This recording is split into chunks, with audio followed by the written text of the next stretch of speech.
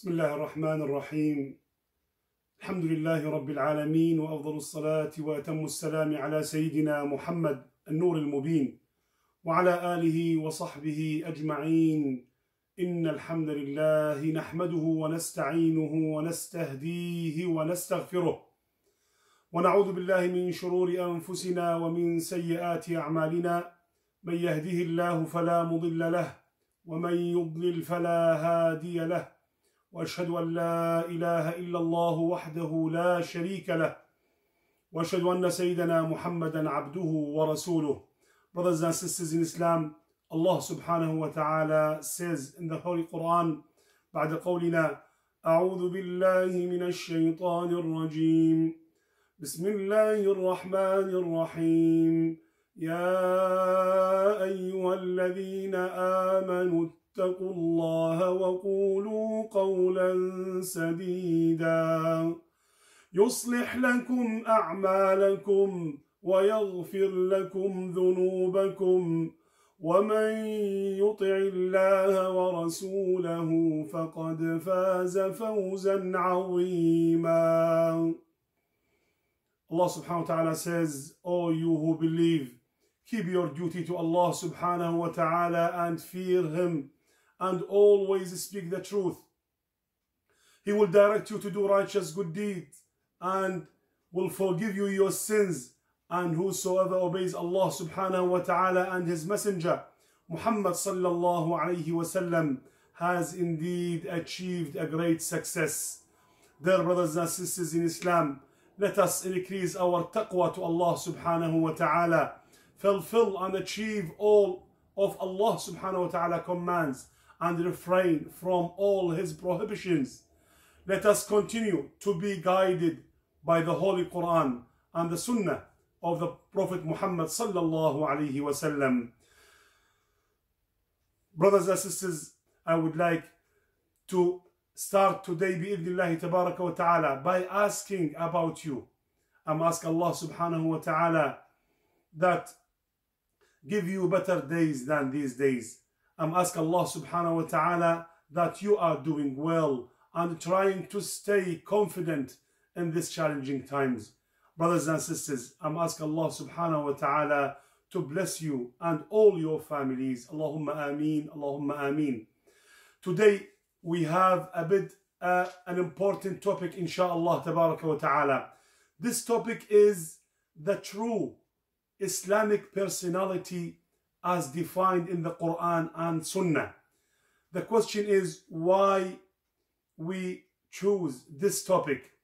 Because, brothers and sisters, amongst many benefits ta'ala of this topic is to show the Muslim personality as the Islam meant it to be.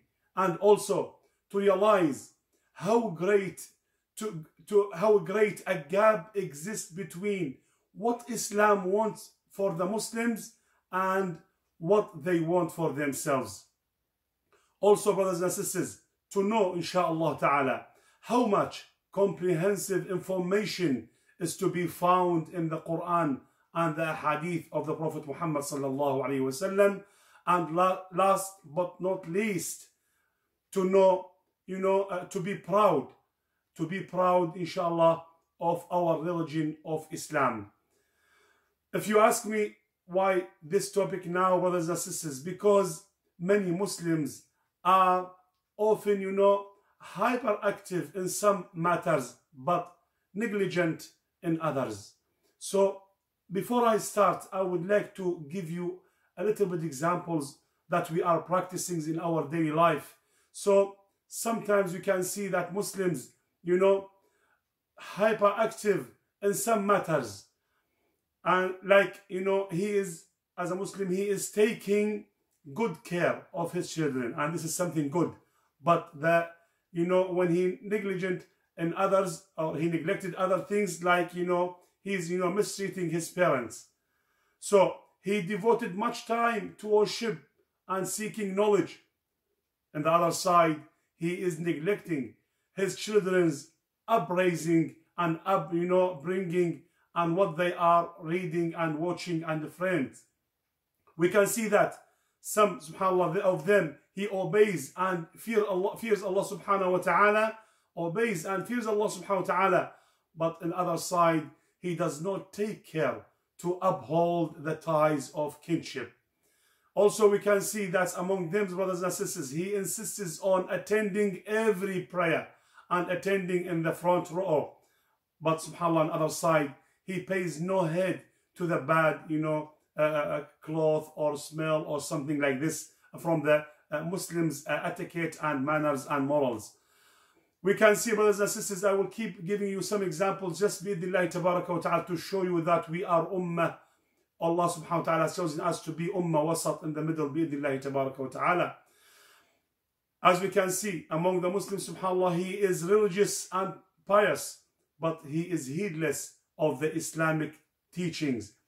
Also, we can find as well, he is uh, paying attention to his our you know uh, his own uh, private affairs but on other side he is ignoring you know ignoring uh, the, the friends and the welfare of the muslims community at large that's why brothers and sisters this topic is very important we need bi'idhnillahi tabaraka wa ta'ala to go through through through this series of episodes inshallah to show all the young muslims exactly what's the meaning of the true Islamic personalities, uh, personality as defined in the uh, Quran and the Sunnah of the Prophet Muhammad sallallahu alaihi wasallam.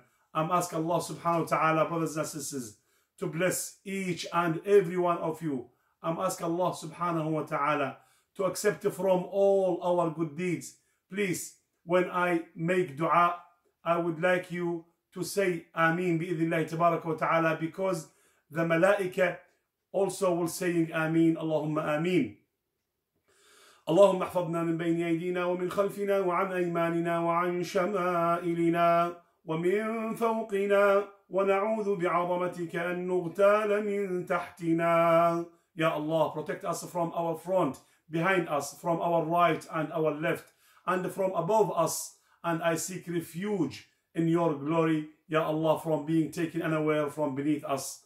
Ya Arhamar Rahimin, صل على محمد وعلى آل محمد كما صليت على إبراهيم وعلى آل إبراهيم اللهم بارك على محمد وعلى آل محمد كما باركت على إبراهيم وعلى آل إبراهيم في العالمين إنك حميد مجيد جزاكم الله خيرا and thank you for listening and once again I ask Allah subhanahu wa ta'ala to ease our days inshallah and also to forgive us our to forgive uh, all our sins and fill, uh, inshallah fill our life with barakah. Allahumma ameen. Allahumma ameen. جزاكم الله خيرا. السلام عليكم ورحمة الله تعالى وبركاته.